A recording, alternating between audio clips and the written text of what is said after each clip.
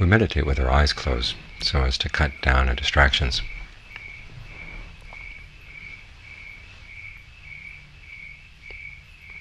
So you can focus all of your attention at the work at hand, which is being with the breath, being sensitive to the breath in the body.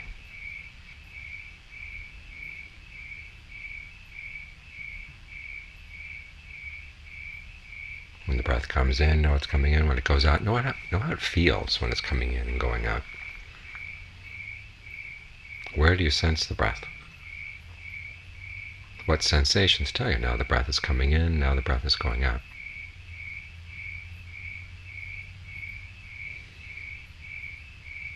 And which of those sensations are comfortable? Focus on the comfortable ones. Get to know them.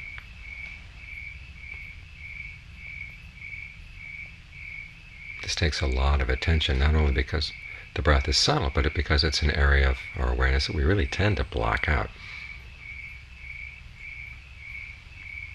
And so we have to unlearn a lot of deeply ingrained habits, which requires focused attention. Intentness is the quality they, they call it in the texts, citta. You're really intent on what you're doing. You're paying a lot of attention how this area of your awareness feels. The more fully intent you are, the more you notice. The more you notice, the better the results of your meditation.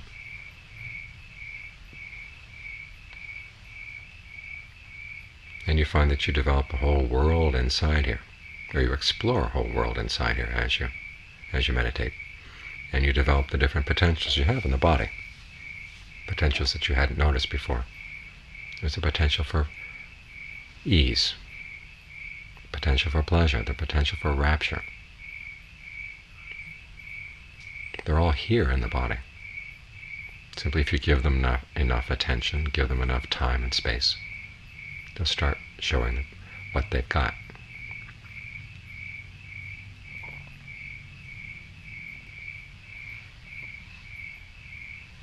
But the fact that we do this with our eyes closed doesn't mean that it's meant to be done only with our eyes closed.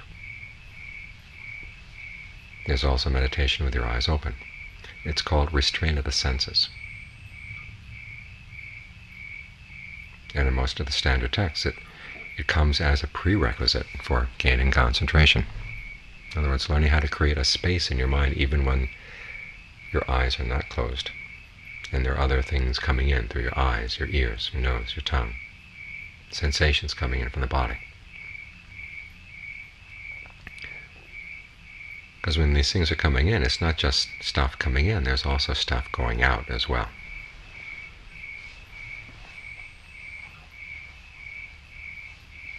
I mean, it's possible for us to go out and look for trouble in the way we look and listen and smell and taste things touch things. And that's the aspect that really destroys our concentration, really destroys this world we're developing inside.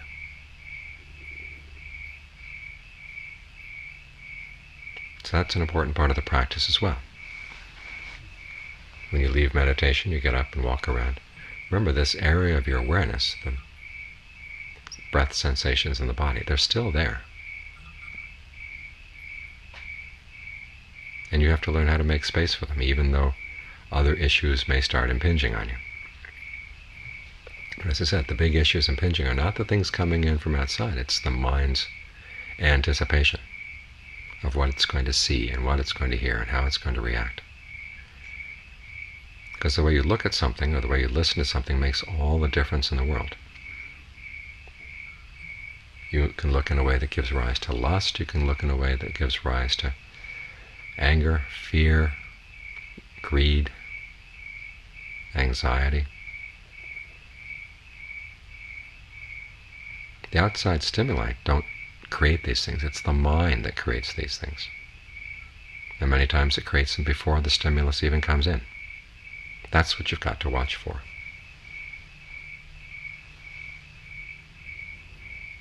So when you leave the formal meditation, remind yourself you've got this inner world. It's like a little bubble you want to carry around with you. Make sure it doesn't pop. And beware of the fact that it's impulses coming from within that can destroy the bubble.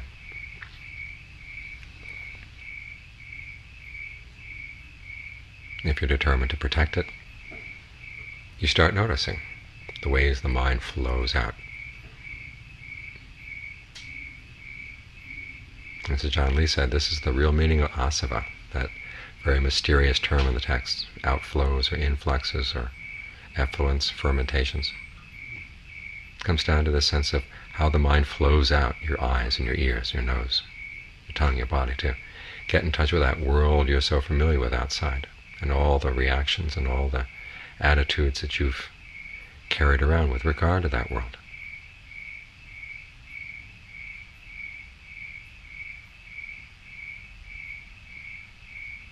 To the point where we've forgotten that we're the ones that create these reactions. We create these associations. They tell of people who've been blind from birth, who in a few cases can be given their sight back, but they find it confusing.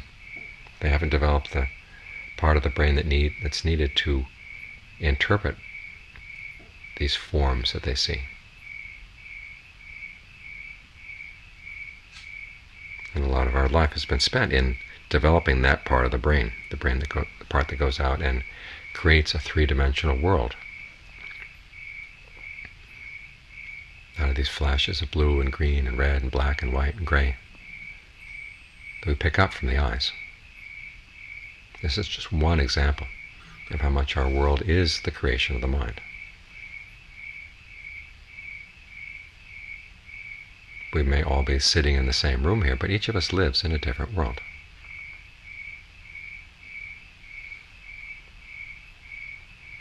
Buddha's definition of world is eyes and sights, nose and smells, ears and sounds, and so on down through the senses.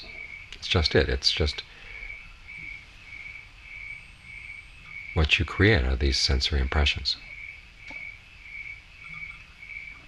And so remind yourself, it's not so much things coming in from outside that are going to be the problem in destroying your concentration or destroying your mindfulness. It's the attitude you have that you carry out to these things.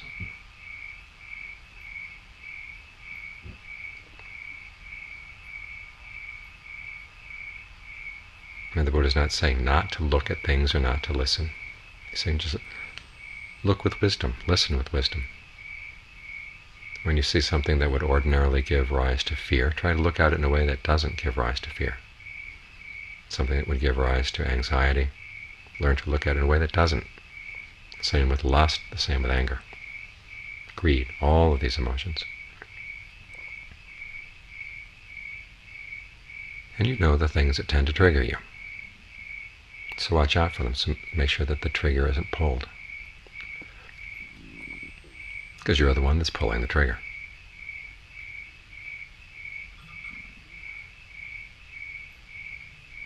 So the skills we learn here as we sit here with our eyes closed focusing on the breath, they're not meant just for the monastery or just for the meditation hall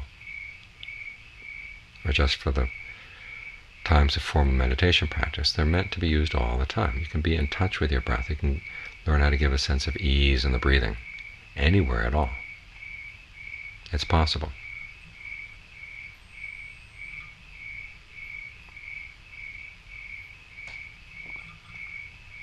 You can even give a sense of fullness to the body, different parts of the body as you need it. Even with your eyes open and all kinds of blaring sounds coming in.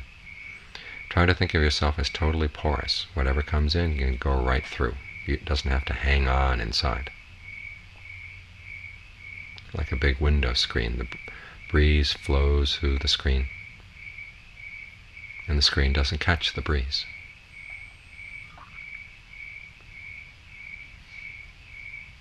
That way you can find that you can maintain this inner world even though the outer world seems to be all over the place, everywhere, inhabiting all your awareness you find that this inner world is still here all the time. And you can maintain contact with it. Learn to value it, learn to treasure it. Don't be quick to throw it away.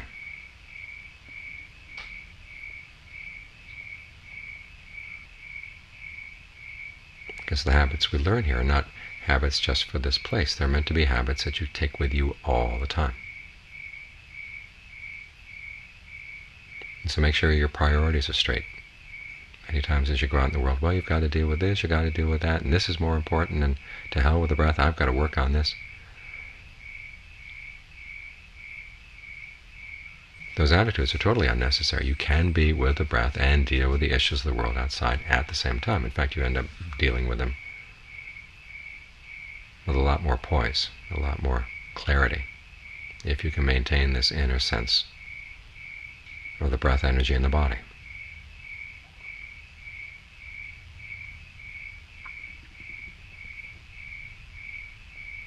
So a lot of this has to do with understanding. It's not so much that the world outside is barging in to destroy your meditation. You're the one that goes flowing out to destroy it.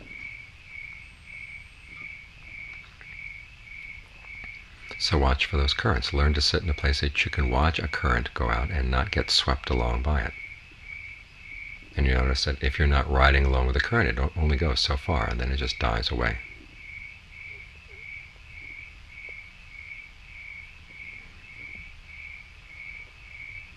This is probably why the Buddha used the image of the island. You're still in the river, but you're on the island. You've got a space. You've got your foundation for mindfulness, your foundation for concentration right here at the breath. When it gets comfortable, you can think of spreading it all through the body so you have a whole body awareness in the midst of everything else that's going on. So the river may flow, it may even be strong, but you're on your island.